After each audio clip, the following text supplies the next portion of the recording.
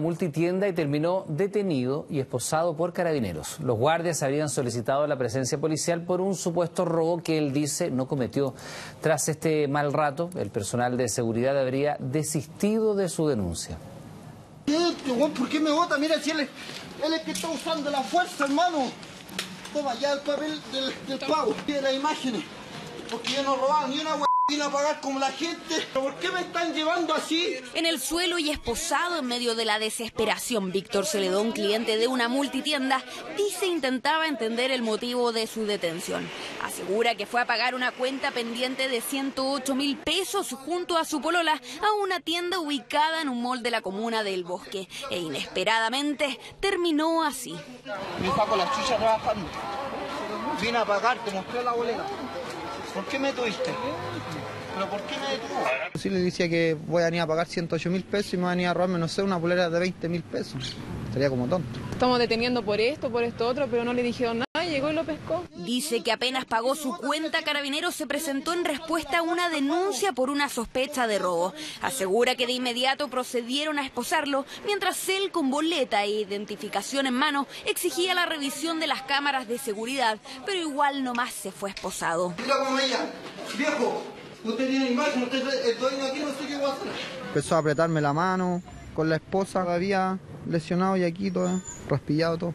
Lo peor de todo es que fue que lo sacaron delante de toda la gente, entre medio de la, de la tienda.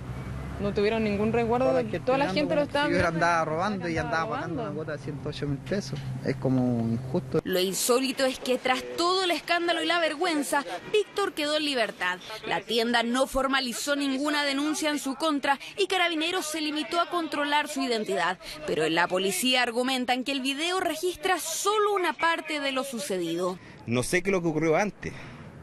Las circunstancias que motivaron a que este individuo que se está comportando de esa forma fuera esposado por seguridad, que el carabinero que actuó en el momento, según las circunstancias del hecho, del entorno, de la, del contexto del cual está ocurriendo, eh, estimó que sí podría ser procedente el uso de la esposa de seguridad. Aunque Carabineros dice estar dispuesto a investigar, Víctor Celedón cree que todo se debió a un prejuicio. Yo creo que discriminación por la forma que me he visto, porque hoy en día aquí el que se viste flight es como el que anda robando.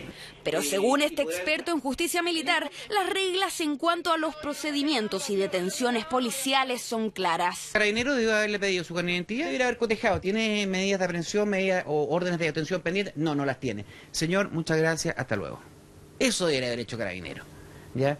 E, y no someterlo a este vejamen. Que los carabineros pidan alguna disculpa por último a él, porque el carabinero ni siquiera fue capaz de decirle ya disculpa, no fue mi intención. Una disculpa que seguirán esperando por el mal rato y la vergüenza que pasó esta pareja, simplemente por ir a pagar una cuenta pendiente.